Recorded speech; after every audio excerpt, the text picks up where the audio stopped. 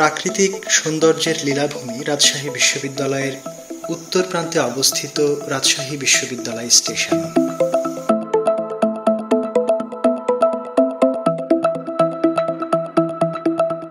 রাজশাহী বিশ্ববিদ্যালয় স্টেশন ভবন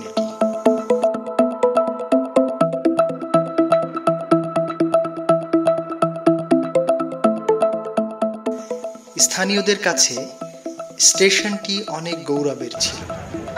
কারণ এই স্টেশনে একসময় সব ধরনের ট্রেন থামত।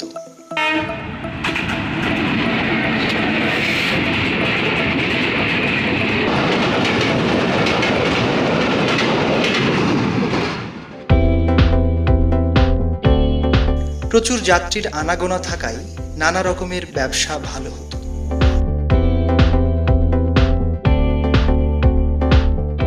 রেলওয়ে স্ন্যাক বার এটি এখানে বিভিন্ন জায়গার লোকজন আসেন বসেন আড্ডা দেন। এটা আমার দোকান। এখানে এক সময় অনেক ট্রেন থামত। অনেক যাত্রী আমার দোকানে কেনাকাটা করত।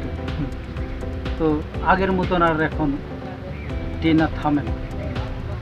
ব্যবসা আমার অনেক স্লো রাজশাহী বিশ্ববিদ্যালয় স্টেশনের ফল ভাণ্ডার এটি। সিরাজ মামার ফলের দোকান নামে সকলের কাছেই পরিচিত। এখানে দেশি বিদেশি সব রকমের ফলই পাওয়া যায়।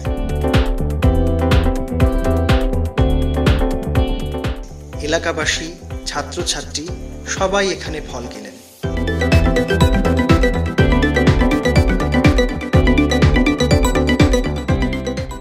আমি স্টেশন বাজারে ক্ষুদ্র ফল বেচি।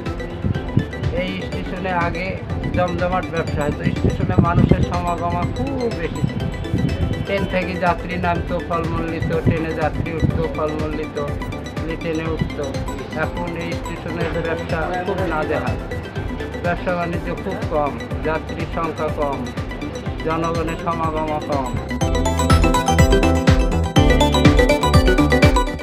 উনিশশো তিপ্পান্ন সালে রাজশাহী বিশ্ববিদ্যালয় স্থাপিত হবার পর বিনোদপুর, কাজলা মেহেরচণ্ডী। অত্র এলাকার এটি একমাত্র প্রথম হোটেল। এটি শমশের মণ্ডলের হোটেল নামে পরিচিত।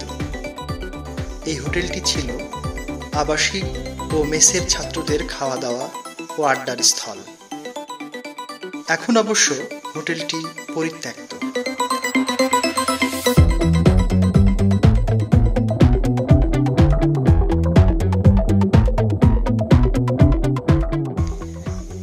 শেওড়া বৃক্ষ। এই বৃক্ষের বয়স আনুমানিক একশো বছরের উপরে। স্থানীয়দের কাছে এটি শতবর্ষী বৃক্ষ নামে পরিচিত।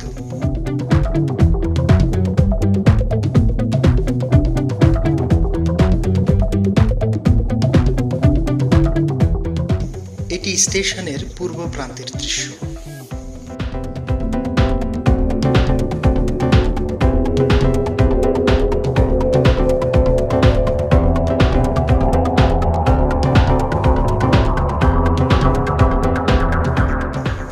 জেলা থেকে বিশ্ববিদ্যালয়ের ছাত্রছাত্রীদের ক্যাম্পাসে আসার একমাত্র যানবাহন ছিল ট্রেন। ট্রেন থেকে নেমে এই পথে রিকশায় চড়ে তারা হলে ফিরত।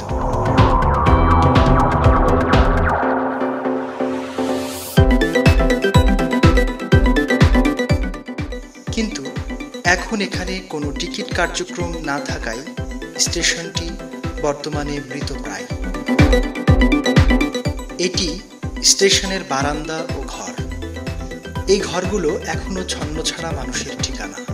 দরজা নেই জানালা নেই।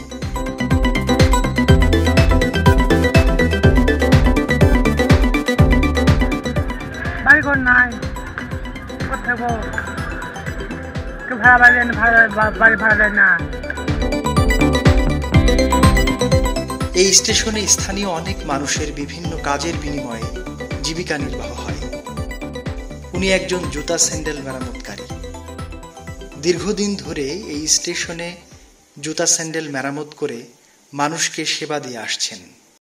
ছাত্রছাত্রী ও এলাকাবাসী সবাই তার কাছে আসেন। উনি হচ্ছেন মাইনুল। উনি একজন মানসিক বিকারগ্রস্ত মানুষ। এরকম অসংখ্য মানুষ এই স্টেশনে আসে, বসে, অনেক দিন থাকে জীবন যাপন করে। আবার চলে যায়। আমি আজ ত্রিশটা বছর হলে এই স্টেশনে আছি।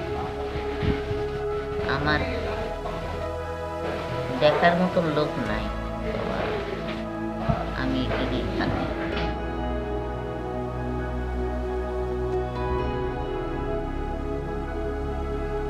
এটিকে বলা হয় স্টেশন মসজিদ।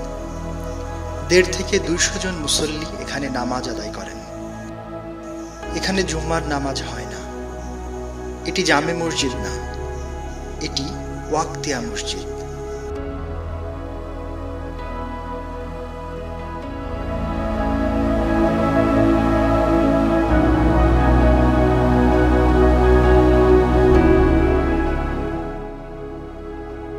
রাজশাহী বিশ্ববিদ্যালয়ের পশ্চিম পার্শ্বের দৃশ্য এটি।